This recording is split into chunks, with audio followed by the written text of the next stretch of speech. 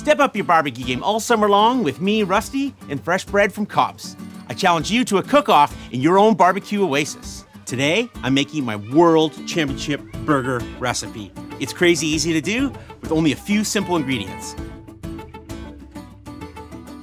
Whenever I make a World Championship burger, I know there's two major components fresh bread, like the gourmet hamburger bun from COBS, and fresh ground meat. My four secrets to the ultimate burger patty. Number one, keep your grind light and fluffy in texture. Number two, add a little bit of mayo for extra juice and a punch of flavor. Number three, melted salted butter. And number four, some panko breadcrumbs. They're gonna absorb all the juices and keep them locked inside that burger.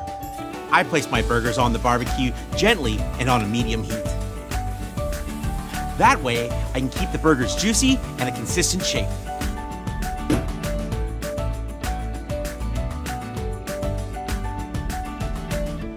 And that's how you build a World Championship burger. Tune in every Thursday for a new recipe that you can use to barbecue all summer long.